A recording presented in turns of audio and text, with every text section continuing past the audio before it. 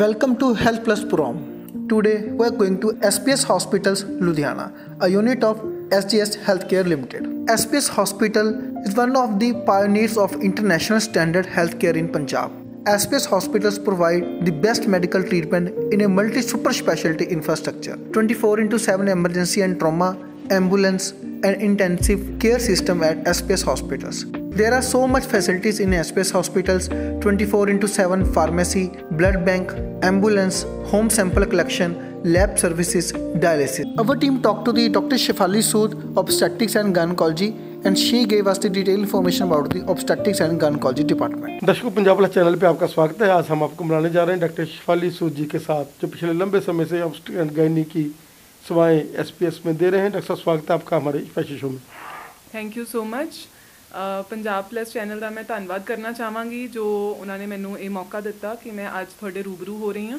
Thank you ਔਰ ਤੁਹਾਡਾ ਸਭ ਦਾ ਸਵਾਗਤ ਹੈ ਇਸ ਪ੍ਰੋਗਰਾਮ ਵਿੱਚ। ਇਸ ਦੇ ਥਰੂ ਅਸੀਂ ਤੁਹਾਡੇ ਨਾਲ ਕੁਝ ਗੱਲਾਂ ਸ਼ੇਅਰ ਕਰਨੀਆਂ ਚਾਹਾਂਗੇ। ਥੈਂਕ ਯੂ ਡਾਕਟਰ ਸ਼ਿਫਾਲੀ ਜਿਸ ਤਰੀਕੇ ਦੇ ਨਾਲ ਕੋਈ ਸਮਾਂ ਸੀਗਾ ਕਿ ਲੋਕ ਕੰਮ ਕਰਦੇ ਕਰਦੇ ਬੱਚੇ ਜਨਮ ਦਿੰਦੇ ਸੀਗੇ, ਔਰ ਅੱਜ ਦਾ ਜਿਹੜਾ ਸਮਾਂ ਬਹੁਤ ਹੀ ਔਖਿਆਈ ਵਾਲਾ ਹੋ ਗਿਆ ਬੱਚੇ ਨੂੰ ਜਨਮ ਦੇਣਾ। ਕੀ ਕਹਿਣਾ ਚਾਹੋਗੇ ਕਿ ਉਹ ਸਿਨੈਰੀਓ ਅੱਜ ਤੋਂ 30 35 ਸਾਲ ਪਹਿਲਾਂ ਔਰ ਅੱਜ ਦਾ ਬੜਾ ਡਿਫਰੈਂਟ ਹੈਗਾ? ਔਰ ਅੱਜ ਡਾਕਟਰਸ ਨੇ ਟੈਕਨੀਕਸ ਵੀ ਉਹ ਜਿਹੀਆਂ ਬਣਾ ਲਈਆਂ ਵੀ ਜਿੰਨਾ ਜਿੱਦਾਂ ਲੋਕਾਂ 'ਚ ਤਾਕਤ ਘਟੀ ਜਾਂਦੀ ਹੈਗੀ ਆ ਲੇਡੀਜ਼ ਦੇ ਵਿੱਚ ਉਹ ਦਰਦ ਨਹੀਂ ਸਹਿਣ ਕਰ ਸਕਦੀਆਂ, ਉਹਨਾਂ ਦੇ ਲਈ ਪੇਨਲੈਸ ਡਿਲੀਵਰੀਜ਼ ਆ ਗਈਆਂ। ਕੀ ਕਹਿਣਾ ਚਾਹੋਗੇ? ਹਾਂਜੀ, ਬਿਲਕੁਲ। ਜਿਵੇਂ ਜਿਵੇਂ ਟਾਈਮ ਬਦਲਦਾ ਹੈ, ਉਵੇਂ ਉਵੇਂ ਤਕਨੀਕਾਂ ਵੀ ਬਦਲਦੀਆਂ ਹੈਗੀਆਂ ਨੇ। ਤੇ ਜਿਵੇਂ ਜਿਵੇਂ ਟਾਈਮ ਬਦਲ ਰਿਹਾ ਹੈ, ਉਹਦੇ ਮੁਤਾਬਿਕ ਡੈਫੀਨੇਟਲੀ ਜੋ ਤੁਸੀਂ ਕਹਿ ਰਹੇ ਹੋ ਕਿ ਅੱਜਕੱਲ ਬਹੁਤ ਸਾਰੀਆਂ ਸੁਵਿਧਾਵਾਂ ਅਵੇਲੇਬਲ ਹੈ, ਜਿਵੇਂ ਕਿ ਪੇਨਲੈਸ ਡਿਲੀਵਰੀ ਹੋ ਗਈ ਜਾਂ ਜਿਵੇਂ ਅਸੀਂ ਦੇਖ ਰਹੇ ਹਾਂ ਕਿ ਅੱਜਕੱਲ ਸਿਜ਼ੇਰੀਅਨ ਦੇ ਰੇਟਸ ਜਿਹੜੇ ਹੈ ਵੱਧਦੇ ਜਾ ਰਹੇ ਹੈਗੇ। ਅੱਜ ਤੋਂ ਅਸੀਂ ਇੱਕ ਜਨਰੇਸ਼ਨ ਜਾਂ ਦੋ ਜਨਰੇਸ਼ਨ ਅਗਰ ਪਿੱਛੇ ਜਾਂਦੇ ਹਾਂ, ਤਾਂ ਉਦੋਂ ਨਾਰਮਲ ਡਿਲੀਵਰੀਜ਼ ਦਾ ਰੇਟ ਬਹੁਤ ਜ਼ਿਆਦਾ ਹੁੰਦਾ ਸੀਗਾ। ਹੁਣ ਅੱਜਕੱਲ ਦੀ ਜਿਹੜੀ ਜਨਰੇਸ਼ਨ ਹੈ ਰੇਟਸ ਨਾਰਮਲ ਡਿਲੀਵਰੀਜ਼ ਦੇ ਘਟਦੇ ਜਾ ਰਹੇ ਹੈ ਜਾਂ ਪੇਨਲੈਸ ਡਿਲੀਵਰੀਜ਼ ਵੀ ਅਵੇਲੇਬਲ ਹੁੰਦੀਆਂ ਜਾ ਰਹੀਆਂ। ਕਿਉਂ ਐਸਾ ਹੋ ਰਿਹਾ ਹੈਗਾ? ਕਿਉਂਕਿ ਅਹ, ਇੱਕ ਤਾਂ ਇਹ ਹੈ ਕਿ ਪਹਿਲੇ ਜ਼ਮਾਨੇ 'ਚ ਲੇਡੀਜ਼ ਜੋ ਹੈ ਜਾਂ ਕੋਈ ਵੀ ਲੇਡੀਜ਼ ਹੋਣ ਜਾਂ ਆਦਮੀ ਹੋਣ ਸਭ ਲੋਕ ਬਹੁਤ ਫਿਜ਼ੀਕਲੀ ਐਕਟਿਵ ਸੀਗੇ। ਹਰ ਕੋਈ ਚੱਲਦਾ ਫਿਰਦਾ ਹੀ 8-10 ਕਿਲੋਮੀਟਰ ਤਾਂ ਐਂ ਹੀ ਚੱਲ ਲੈਂਦਾ ਸੀਗਾ। ਪਰ ਹੁਣ ਅੱਜ ਅੱਜਕੱਲ ਅਸੀਂ ਬਹੁਤ ਘੱਟ ਫਿਜ਼ੀਕਲੀ ਐਕਟਿਵ ਹੈਗੇ ਹਾਂ। ਬਹੁਤ ਸਾਰੀਆਂ ਚੀਜ਼ਾਂ ਹੋਰ ਆ ਗਈਆਂ ਵੀ ਅਸੀਂ ਬੈਠੇ ਰਹਿਣ ਵਾਲਾ ਲਾਈਫ ਸਟਾਈਲ ਜਿਹੜਾ ਉਹ ਜ਼ਿਆਦਾ ਹੋ ਗਿਆ। ਬਹੁਤ ਸਾਰੇ ਪੇਸ਼ੈਂਟਸ ਵੀ ਸਰਪ੍ਰਾਈਜ਼ਿੰਗਲੀ ਹੁਣ ਸਾਡੇ ਕੋਲ ਐਸੇ ਆਉਣ ਲੱਗ ਗਏ ਜਿਹੜੇ ਕਹਿੰਦੇ ਵੀ ਅਸੀਂ ਪੇਨਸ ਲੈ ਹੀ ਨਹੀਂ ਸਕਦੇ ਅਸੀਂ ਲੈਣੀਆਂ ਹੀ ਨਹੀਂ ਚਾਹੁੰਦੇ। ਤਾਂ ਇਹਦੇ ਕਰਕੇ ਵੀ ਸਿਨੈਰੀਓ ਬਦਲ ਰਿਹਾ ਹੈ। ਪਰ ਅਸੀਂ ਇੱਥੇ ਕੋਸ਼ਿਸ਼ ਕਰਦੇ ਹਾਂ ਕਿ ਹਰ ਪੇਸ਼ੈਂਟ ਨੂੰ ਅਸੀਂ ਨਾਰਮਲ ਡਿਲੀਵਰ ਕਰਨ ਦਾ ਚਾਂਸ ਦਈਏ। ਕੋਸ਼ਿਸ਼ ਕਰੀਏ ਕਿ ਪੂਰਾ ਟ੍ਰਾਇਲ ਦਈਏ। ਪੇਨਲੈਸ ਡਿਲੀਵਰੀ ਦੀ ਵੀ ਫੈਸਿਲਿਟੀ ਸਾਡੇ ਕੋਲ ਅਵੇਲੇਬਲ ਹੈ। ਤੇ ਮੈਂ ਇਸ ਮਾਧਿਅਮ ਦੇ ਨਾਲ ਹੀ ਆਪਣੇ ਦਰਸ਼ਕਾਂ ਨੂੰ ਦੱਸਣਾ ਚਾਹਾਂਗੀ ਕਿ ਪੇਨਲੈਸ ਡਿਲੀਵਰੀ ਅੱਜਕੱਲ ਬਹੁਤ ਈਜ਼ੀਲੀ ਅਵੇਲੇਬਲ ਹੈ। ਤੇ ਇਸ ਦੇ ਵਿੱਚ ਤੁਹਾਡੀਆਂ ਪੇਨਸ ਜਿਹੜੀਆਂ ਹੈ, ਜਿਹੜੀ ਪੇਨ ਦੀ ਪਰਸੈਪਸ਼ਨ ਹੈ, ਜੋ ਆਪਾਂ ਨੂੰ ਦਰਦ ਫੀਲ ਹੁੰਦੀ ਹੈ, ਉਹ ਬਹੁਤ ਮਿਨੀਮਲ ਹੋ ਜਾਂਦੀ ਹੈ, ਬਿਲਕੁਲ ਘਟ ਜਾਂਦੀ ਹੈ। ਬਿਲਕੁਲ ਐਂਡ ਵਿੱਚ ਜਾ ਕੇ ਹੀ ਦਰਦਾਂ ਮਹਿਸੂਸ ਹੁੰਦੀਆਂ ਹੈਗੀਆਂ। ਤੇ ਇਸ ਦੇ ਨਾਲ ਨਾਰਮਲ ਡਿਲੀਵਰੀ ਦਾ ਰੇਟ ਜਿਹੜਾ ਹੈ ਉਹ ਕਾਫੀ ਜ਼ਿਆਦਾ ਵੱਧ ਜਾਂਦਾ ਹੈਗਾ। ਇਸ ਤੋਂ ਡਰਨ ਦੀ ਸਾਨੂੰ ਲੋੜ ਨਹੀਂ ਹੈ। ਜਦੋਂ ਅਸੀਂ ਪੇਸ਼ੈਂਟਸ ਨੂੰ ਐਕਸਪਲੇਨ ਕਰਦੇ ਹਾਂ ਵੀ ਅਸੀਂ ਪਿੱਠ 'ਚ ਇੱਕ ਟੀਕਾ ਲਾਵਾਂਗੇ, ਜਿਹਦੇ ਨਾਲ ਤੁਹਾਡੀ ਦਰਦ ਘਟ ਜੂਗੀ ਜਾਂ ਤੁਹਾਨੂੰ ਨਹੀਂ ਪਤਾ ਲੱਗੂਗਾ, ਤਾਂ ਪੇਸ਼ੈਂਟਸ ਵੀ, ਉਹਨਾਂ ਦੇ ਵੱਡੇ ਵੀ, ਉਹਨਾਂ ਨੂੰ ਡਰ ਲੱਗਦਾ ਵੀ ਪਿੱਠ 'ਚ ਸੂਈ ਲੱਗੂਗੀ ਤੇ ਪਤਾ ਨਹੀਂ ਕੋਈ ਨੁਕਸਾਨ ਨਾ ਹੋ ਜੇ ਜਾਂ ਬੱਚੇ ਨੂੰ ਕੋਈ ਨੁਕਸਾਨ ਨਾ ਹੋ ਜੇ।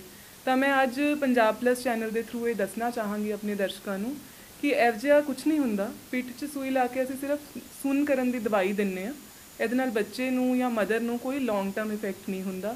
ਸਿਰਫ ਮਦਰਸ ਈਜ਼ੀ ਹੋ ਜਾਂਦੀਆਂ ਕੰਫਰਟੇਬਲ ਹੋ ਜਾਂਦੀਆਂ ਉਹਨਾਂ ਦੀ ਤਾਕਤ ਬਚੀ ਰਹਿੰਦੀ ਹੈ ਐਂਡ ਤੱਕ ਔਰ ਉਹਨਾਂ ਦਾ ਹੌਸਲਾ ਵੀ ਬੂਸਟ ਹੋ ਜਾਂਦਾ ਹੈ ਡੈਫੀਨੇਟਲੀ ਐਂਡ ਤੱਕ ਤਾਂ ਕਿ ਉਹ ਨਾਰਮਲ ਡਿਲੀਵਰੀ ਕਰ ਸਕਣ। ਬਾਹਰਲੇ ਮੁਲਕਾਂ ਵਿੱਚ ਇਹ ਟੈਕਨੀਕ ਬਹੁਤ ਕਾਮਨਲੀ ਯੂਜ਼ ਹੁੰਦੀ ਹੈ। ਆਪਣੇ ਇੱਥੇ ਹਜੇ ਇੰਨੀ ਜ਼ਿਆਦਾ ਕਾਮਨ ਨਹੀਂ ਹੈ। ਪਰ ਅਸੀਂ ਕੋਸ਼ਿਸ਼ ਕਰਦੇ ਹਾਂ ਕਿ ਅਸੀਂ ਇੱਥੇ ਆਪਣੇ ਕੋਲ ਐਸਪੀਐਸ ਹਸਪੀਟਲ ਦੇ ਵਿੱਚ ਸਭ ਪੇਸ਼ੈਂਟਸ ਨੂੰ ਮੈਕਸਿਮਮ ਟ੍ਰਾਇਲ ਦੇਈਏ ਤੇ ਪੇਨਲੈਸ ਡਿਲੀਵਰੀ ਵੀ ਅਸੀਂ ਉਹਨਾਂ ਨੂੰ ਆਪਸ਼ਨ ਦਿੰਦੇ ਹੈਗੇ ਆ ਜਿਹਨੂੰ ਜਿਹਨੂੰ ਜਿਹੜੇ ਜਿਹੜੇ ਪੇਸ਼ੈਂਟ ਵਾਸਤੇ ਇਹ ਐਪਲੀਕੇਬਲ ਹੋ ਸਕਦੀ ਹੈ। ਡਾਕਟਰ ਸਾਹਿਬ, ਜਿਸ ਤਰੀਕੇ ਦੇ ਨਾਲ ਤੁਸੀਂ ਪੀਸੀਓਡੀ ਦੇ ਇੱਕ ਮਾਹਰ ਡਾਕਟਰ ਮੰਨੇ ਜਾਂਦੇ ਹੋ ਔਰ ਕ੍ਰੋਨਿਕ ਤੋਂ ਕ੍ਰੋਨਿਕ ਪੇਸ਼ੈਂਟਸ ਜਿਹੜੇ ਹੈਗੇ ਨੇ ਪੀਸੀਓਡੀ ਦੇ, ਉਹ ਵੀ ਤੁਹਾਡੇ ਕੋਲ ਆਉਂਦੇ ਨੇ ਔਰ ਉਹਨਾਂ ਨੂੰ ਇੱਕ ਨਈ ਜ਼ਿੰਦਗੀ ਦਿੰਦੇ ਹੋ।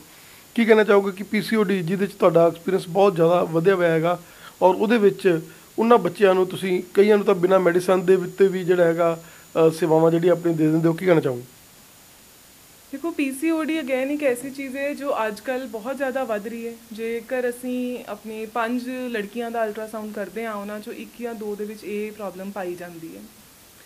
ਇਹ ਅਗੇਨ ਲਾਈਫਸਟਾਈਲ ਡਿਸਆਰਡਰ ਹੈਗਾ। ਜਿਵੇਂ ਜਿਵੇਂ ਆਪਣਾ ਲਾਈਫਸਟਾਈਲ ਸਿਡੈਂਟਰੀ ਹੁੰਦਾ ਜਾ ਰਿਹਾ ਸਿਡੈਂਟਰੀ ਮਤਲਬ ਬੈਠਣ ਵਾਲਾ ਹੁੰਦਾ ਜਾ ਰਿਹਾ, ਆਪਣੇ ਖਾਣ ਪੀਣ ਦੇ ਵਿੱਚ ਚੇਂਜਸ ਹੋ ਰਹੀਆਂ ਹੈਗੀਆਂ, ਆਪਾਂ ਜੰਕ ਫੂਡ ਜ਼ਿਆਦਾ ਹੋ ਰਿਹਾ ਹੈ, ਘੀ, ਤੇਲ ਵਾਲੀਆਂ ਚੀਜ਼ਾਂ, ਤਲੀਆਂ ਹੋਈਆਂ ਚੀਜ਼ਾਂ ਆਪਾਂ ਜ਼ਿਆਦਾ ਖਾਂਦੇ ਉਹ ਸਾਰੀਆਂ ਦੇ ਨਾਲ ਹਾਰਮੋਨਲ ਇੰਬੈਲੈਂਸ ਜਿਹੜਾ ਹੈ ਉਹ ਵੱਧਦਾ ਜਾ ਰਿਹਾ ਜਿਸ ਕਰਕੇ ਪੀਸੀਓਡੀ ਦੀ ਤਕਲੀਫ ਵੀ ਅੱਜਕੱਲ ਬਹੁਤ ਜ਼ਿਆਦਾ ਵੱਧ ਰਹੀ ਹੈਗੀ ਹੈ। ਹੁਣ ਅਗੇਨ ਇਹਦਾ ਟ੍ਰੀਟਮੈਂਟ ਵੀ ਦਵਾਈਆਂ ਤਾਂ ਹੈ ਹੀ ਹੈ, ਪਰ ਦਵਾਈਆਂ ਦੇ ਨਾਲ ਨਾਲ ਲਾਈਫ ਸਟਾਈਲ ਚੇਂਜਸ ਇਹਦਾ ਸਭ ਤੋਂ ਇੰਪੋਰਟੈਂਟ ਟ੍ਰੀਟਮੈਂਟ ਹੈਗਾ। ਲਾਈਫ ਸਟਾਈਲ ਚੇਂਜਸ ਦਾ ਮਤਲਬ ਕਿ ਅਸੀਂ ਆਪਣੀਆਂ ਬੱਚੀਆਂ ਨੂੰ ਸ਼ੁਰੂ ਤੋਂ ਹੀ ਫਿਜ਼ੀਕਲੀ ਐਕਟਿਵ ਹੋਣ ਦੀ ਸਲਾਹ ਦਈਏ। ਸ਼ੁਰੂ ਤੋਂ ਹੀ ਉਹਨਾਂ ਦੇ ਨਾਲ ਮਿਲ ਕੇ ਆਪਾਂ ਕੋਈ ਨਾ ਕੋਈ ਫਿਜ਼ੀਕਲ ਐਕਟੀਵਿਟੀ ਕਰੀਏ। ਜਦੋਂ ਬੱਚੇ ਛੋਟੇ ਹੁੰਦੇ ਆ ਉਦੋਂ ਤੋਂ। ਜਿਵੇਂ ਮੇਰੀ ਡਾਟਰ 6 ਸਾਲ ਦੀ ਹੈ ਤਾਂ ਅਸੀਂ ਕੋਸ਼ਿਸ਼ ਕਰੀਦਾ ਕਿ ਅਸੀਂ ਰੋਜ਼ 10-15 ਮਿੰਟ 20 ਮਿੰਟ ਉਹਦੇ ਨਾਲ ਚਾਹੇ ਵਾਕ ਤੇ ਚੱਲ ਜਾਈਏ, ਚਾਹੇ ਉਹਨੂੰ ਸਾਈਕਲਿੰਗ ਕਰਾਈਏ, ਕੁਛ ਨਾ ਕੁਛ ਅਸੀਂ ਸ਼ੁਰੂ ਤੋਂ ਕੋਸ਼ਿਸ਼ ਕਰੀਏ ਵੀ ਬੱਚੇ ਦੇ ਵਿੱਚ ਇੱਕ ਐਕਟਿਵ ਰਹਿਣ ਦੀ ਜਜ਼ਬਾ ਹੋਵੇ। ਐਂਡ ਸੈਕੰਡਲੀ ਅੱਛੀ ਡਾਈਟ ਉਹਨਾਂ ਨੂੰ ਸ਼ੁਰੂ ਤੋਂ ਪ੍ਰੋਵਾਈਡ ਕਰੀਏ। ਉਹਨਾਂ ਨੂੰ ਜੰਕ ਫੂਡ ਵੱਲ ਬਹੁਤਾ ਨਾ ਜਾਣ ਦਈਏ। Healthy seasonal vegetable seasonal fruits ਵਗੈਰਾ ਜ਼ਿਆਦਾ ਦਈਏ। ਇਹ ਸਾਰੀਆਂ ਚੀਜ਼ਾਂ ਕਰਨ ਦੇ ਨਾਲ ਹੀ ਜਿਵੇਂ ਕਿ ਇਸ ਤੁਹਾਡੀਆਂ ਕਿਤਾਬਾਂ 'ਚ ਲਿਖਿਆ ਹੁੰਦਾ ਵੀ ਜੇ ਪੀਸੀਓਡੀ ਵਾਲਾ ਮਰੀਜ਼ 5% ਵੀ ਆਪਣਾ weight loss ਕਰ ਲੈਂਦਾ, ਤਾਂ ਉਹਦੀ ਤਕਲੀਫ ਇੱਥੋਂ ਤੋਂ ਇੱਥੇ ਹੋ ਜਾਂਦੀ ਹੈਗੀ। ਸੋ ਬਹੁਤ ਸਾਰੀਆਂ ਦਵਾਈਆਂ ਸਾਡੇ ਕੋਲ ਅਵੇਲੇਬਲ ਹੈਗੀਆਂ ਪੀਸੀਓਡੀ ਵਾਸਤੇ ਵੀ, ਪਰ ਸਭ ਤੋਂ ਇੰਪੋਰਟੈਂਟ ਦਵਾਈ ਇਹਦੇ ਵਿੱਚ ਲਾਈਫ ਸਟਾਈਲ ਚੇਂਜਸ ਹੀ ਹੈਗੀ ਹੈ। ਤੇ ਉਹਨੂੰ ਆਪਾਂ ਨੂੰ ਆਪਣੇ ਬੱਚਿਆਂ ਨੂੰ ਸ਼ੁਰੂ ਤੋਂ ਹੀ, ਮੁੱਢ ਤੋਂ ਹੀ ਸਿਖਾਉਣ ਦੀ ਲੋੜ ਹੈਗੀ ਹੈ। ਅੰਡਾ ਸਾਹਿਬ, ਕੀ ਕਹਿਣਾ ਚਾਹੋਗੇ ਕਿ ਅੱਜ ਦਾ ਜਿਹੜਾ ਸਿਨੈਰੀਓ ਆ ਜਿਹਦੇ ਵਿੱਚ ਡਿਲੀਵਰੀ ਜਿਹੜੀ ਹੈਗੀ ਆ, ਕਿਉਂਕਿ ਇੱਕ ਇੱਕ ਬੱਚਾ ਹੋਣਾ ਹੁੰਦਾ ਬੰਦਿਆਂ ਦੇ, ਔਰ ਡਿਲੀਵਰੀਜ਼ ਦੇ ਲਈ ਇਹ ਹਸਪੀਟਲ ਕਿਉਂਕਿ ਪੇਨਲੈਸ ਡਿਲੀਵਰੀ ਤੁਸੀਂ ਗੱਲ ਕਰ ਲਈ ਹੈ ਹਾਈ ਰਿਸਕ ਪ੍ਰੈਗਨੈਂਸੀ ਦੀ ਗੱਲ ਕਰ ਲਈਏ ਨਿਓਨੇਟਲ ਯੂਨਿਟ ਦੀ ਗੱਲ ਕਰ ਲਈਏ, ਹਰ ਫੈਸਿਲਿਟੀ ਜਿਹੜੀ ਹੈਗੀ ਆ ਵਰਲਡ ਕਲਾਸ ਇੱਥੇ ਮੌਜੂਦ ਹੈ, ਔਰ ਵਧੀਆ ਕਮਰੇ ਨੇ ਡਿਲੀਵਰੀ ਦੇ ਲਈ ਇਹ ਹਸਪੀਟਲ ਇੱਕ ਬਹੁਤ ਹੀ ਬੈਸਟ ਜਗ੍ਹਾ ਜਿੱਥੇ ਲੋਕ ਆ ਕੇ ਐਡਮਿਟ ਰਹਿ ਸਕਦੇ ਥੋੜੀ ਦੇਰ, ਉਸ ਤੋਂ ਬਾਅਦ ਵਿੱਚ ਬਹੁਤ ਹੀ ਸੇਫ ਜਿਹੜੀ ਹੈਗੀ ਆਪਦੀਆਂ ਪ੍ਰੈਗਨੈਂਸੀਜ਼ ਨੂੰ ਅੰਜਾਮ ਦੇ ਸਕਦੇ। ਹਾਂਜੀ, ਬਿਲਕੁਲ, ਅਸੀਂ ਇਹ ਪ੍ਰਾਊਡਲੀ ਕਹਿੰਦੇ ਹਾਂ ਕਿ ਐਸਪੀਐਸ ਹਸਪੀਟਲ ਜੋ ਹੈ ਸ਼ਹਿਰ ਦਾ one of the best hospitals ਜਾਂ ਬੈਸਟ ਫੈਸਿਲਿਟੀਜ਼ ਹੈ, ਜਿੱਥੇ ਕਿ ਡਿਲੀਵਰੀ ਵਾਸਤੇ ਤੁਸੀਂ ਬਹੁਤ ਸੇਫਲੀ ਆ ਸਕਦੇ ਹੋ you are in safe hands ਕਿਉਂਕਿ ਸਾਡੇ ਕੋਲ 24 ਘੰਟੇ ਡਾਕਟਰ ਐਮਡੀ ਰੈਜ਼ੀਡੈਂਟਸ ਅਵੇਲੇਬਲ ਹੁੰਦੇ। ਤੁਸੀਂ ਸਭ ਤੋਂ ਜ਼ਿਆਦਾ ਖਤਰਾ ਜਾਂ ਕਹਿ ਲਓ ਸਭ ਤੋਂ ਜ਼ਿਆਦਾ ਡਾਇਰੈਕਟ ਪ੍ਰੈਗਨੈਂਟ ਲੇਡੀ ਨੂੰ ਇਹੀ ਹੁੰਦਾ ਵੀ ਜੇ ਮੈਨੂੰ ਕੋਈ ਐਮਰਜੈਂਸੀ ਹੋ ਗਈ ਤਾਂ ਮੈਨੂੰ ਕੀ ਫੈਸਿਲਿਟੀ ਉਸੇ ਵੇਲੇ ਮਿਲੇਗੀ ਕਿ ਨਹੀਂ ਮਿਲੇਗੀ। ਸਾਡੇ ਕੋਲ 24 ਆਵਰਸ ਇੱਥੇ ਰੈਜ਼ੀਡੈਂਟ ਡਾਕਟਰਸ ਅਵੇਲੇਬਲ ਹੁੰਦੇ ਆ। ਤੁਸੀਂ ਕਦੇ ਵੀ ਆਉਂਦੇ ਹੋ ਤਾਂ ਉਹ ਅਟੈਂਡ ਕਰਨ ਲਈ ਹੁੰਦੇ ਆ। ਕੰਸਲਟੈਂਟਸ ਵੀ ਟਾਈਮ ਸਿਰ ਪਹੁੰਚ ਕੇ ਅਸੀਂ ਉਹਨਾਂ ਨੂੰ ਦੇਖਦੇ ਆ। ਬਾਕੀ ਸਾਡੇ ਕੋਲ ਬੱਚਾ ਅਗਰ ਪ੍ਰੀਟਰਮ ਵੀ ਹੁੰਦਾ ਹੈ ਤਾਂ neonatal unit we state of the art neonatal unit we available ਹੈਗਾ। ਅਲੋਂਗ ਵਿਦ ਥੈਟ ਡਾਕਟਰਸ ਆਪਣੇ ਜੋ ਕੰਸਲਟੈਂਟ ਗਾਇਨੋਕੋਲੋਜਿਸਟ ਹੈਗੇ ਹੈ ਪੀਡੀਆਟ੍ਰਿਕਸ ਵਾਲੇ ਹੈਗੇ ਹੈ ਸਾਰੀ ਟੀਮ ਮਿਲ ਕੇ ਪ੍ਰੈਗਨੈਂਸੀ ਨੂੰ ਇੱਕ ਹੈਲਦੀ ਔਰ ਹੈਪੀ ਐਕਸਪੀਰੀਅੰਸ ਤੁਹਾਡੇ ਵਾਸਤੇ ਬਣਾਉਣ ਦੇ ਲਈ ਸਭ ਤੋਂ ਜ਼ਿਆਦਾ ਅਸੀਂ ਕੋਸ਼ਿਸ਼ ਕਰਦੇ ਹਾਂ। ਐਂਡ 올 ਦਾ ਫੈਸਿਲਿਟੀਜ਼ ਜੋ ਕਿ ਜਿਵੇਂ ਸਰ ਨੇ ਪੇਨਲੈਸ ਡਿਲੀਵਰੀ ਬਾਰੇ ਗੱਲ ਕੀਤੀ ਜਾਂ ਸੇਫ ਡਿਲੀਵਰੀ ਬਾਰੇ ਬਾਰੇ ਗੱਲ ਕੀਤੀ ਸੇਫ ਸਿਜ਼ੇਰੀਅਨਸ ਬਾਰੇ ਗੱਲ ਕੀਤੀ, ਸਭ ਕੁਝ ਸਾਡੇ ਕੋਲ ਇੱਥੇ ਇਨ ਹਾਊਸ ਅਵੇਲੇਬਲ ਹੈਗਾ। ਤੇ ਅਸੀਂ ਇਹ ਮੈਸੇਜ ਦੇਣਾ ਚਾਹਾਂਗੇ ਕਿ ਤੁਸੀਂ ਬੇਫਿਕਰ ਹੋ ਕੇ ਆਪਣੀ ਪ੍ਰੈਗਨੈਂਸੀ ਆਪਣੇ ਬੱਚੇ ਦਾ ਜਿਹੜੀ ਰਿਸਪੌਂਸਿਬਿਲਿਟੀ ਹੈ ਉਹ ਸਾਨੂੰ ਦੇ ਸਕਦੇ ਹੋ। ਤੇ ਅਸੀਂ ਖੁੱਲੇ ਦਿਲ ਦੇ ਨਾਲ ਤੁਹਾਡੇ ਇਸ ਐਕਸਪੀਰੀਅੰਸ ਨੂੰ ਇੱਕ ਹੈਲਦੀ ਐਕਸਪੀਰੀਅੰਸ ਔਰ ਇੱਕ ਹੈਪੀ ਐਕਸਪੀਰੀਅੰਸ ਦੇਣ ਦੀ ਕੋਸ਼ਿਸ਼ ਕਰਦੇ ਹਾਂ। ਡਾਕਟਰ ਸਾਹਿਬ ਤੁਹਾਡਾ ਸਾਨੂੰ ਸਮਾਂ ਦੇਣ ਦੇ ਲਈ ਬਹੁਤ ਧੰਨਵਾਦ ਔਰ ਅਸੀਂ ਚਾਹਾਂਗੇ ਇਸ ਚੈਨਲ ਦੇ ਮਾਧਿਅਮ ਤੇ ਸਮੇਂ-ਸਮੇਂ ਸਿਰ ਅਸੀਂ ਡਾਕਟਰ ਸ਼ਫਾਲੀ ਵਰਗੇ ਡਾਕਟਰ ਜਿਨ੍ਹਾਂ ਦਾ ਬਿਲਕੁਲ ਬਹੁਤ ਔਖੀ ਤਰ੍ਹਾਂ ਨਾਲ ਅਸੀਂ ਟਾਈਮ ਦਿੱਤਾ ਔਰ ਇਸੇ ਤਰੀਕੇ ਨਾਲ ਤੁਸੀਂ ਸਾਨੂੰ ਨਾਲ ਜੁੜੇ ਰਹੋ ਔਰ ਸਾਡੇ ਦਰਸ਼ਕਾਂ ਨੂੰ ਅਵੇਅਰ ਕਰਦੇ ਰਹੋ, ਤੁਹਾਡਾ ਸਮਾਂ ਦੇਣ ਲਈ ਬਹੁਤ ਬਹੁਤ ਧੰਨਵਾਦ। ਥੈਂਕ ਯੂ ਸੋ ਮੱਚ ਮੈਂ ਪੰਜਾਬ ਪਲੱਸ ਚੈਨਲ ਦਾ ਧੰਨਵਾਦ ਕਰਨਾ ਚਾਹਾਂਗੀ ਕਿ ਉਹਨਾਂ ਨੇ ਮੈਨੂੰ ਇਹ ਮੌਕਾ ਦਿੱਤਾ ਕਿ ਮੈਂ ਦਰਸ਼ਕਾਂ ਦੇ ਨਾਲ ਰੂਬਰੂ ਹੋ ਸਕਾਂ। ਇਸ ਚੈਨਲ ਤੇ ਮੈਂ ਅਗੇਨ ਇਹੀ ਸਭ ਨੂੰ ਮੈਸੇਜ ਦੇਣਾ ਚਾਹਾਂਗੀ ਕਿ ਅਸੀਂ ਹਮੇਸ਼ਾ ਆਪਣੇ ਆਪ ਨੂੰ ਫਿਟ ਰੱਖਣ ਦੀ ਕੋਸ਼ਿਸ਼ ਕਰੀਏ ਐਕਟਿਵ ਰੱਖਣ ਦੀ ਕੋਸ਼ਿਸ਼ ਕਰੀਏ ਤੇ ਹੈਲਦੀ ਲਾਈਫ ਸਟਾਈਲ ਦੇ ਵੱਲ ਕਦਮ ਵਧਾਈਏ। ਨਵੇਂ ਸਾਲ ਦੇ ਵਿੱਚ ਅਸੀਂ ਇਹੀ ਪ੍ਰਣ- ਪ੍ਰਣ ਲਈਏ ਕਿ ਆਪਾਂ ਫਿਟ ਐਂਡ ਐਕਟਿਵ ਕਿਵੇਂ ਰਹਿਣਾ ਹੈ ਤੇ happy new year to all of you and ਸਾਡੇ ਵੱਲੋਂ ਅਸੀਂ ਆਪਣੀਆਂ ਸੇਵਾਵਾਂ ਦੇਣ ਵਾਸਤੇ ਤੇ ਅਸੀਂ ਆਪਣੇ ਸਾਰੇ ਫੈਸਿਲਿਟੀਆਂ ਦੇ ਨਾਲ ਹਮੇਸ਼ਾ ਹਾਜ਼ਰ ਹੈਗੇ ਹਾਂ। ਤੁਹਾਡੇ ਹਰ ਕੰਮ ਦੇ ਵਿੱਚ ਤੁਹਾਡਾ ਸਾਥ ਦੇਣ ਵਾਸਤੇ। Thank you so much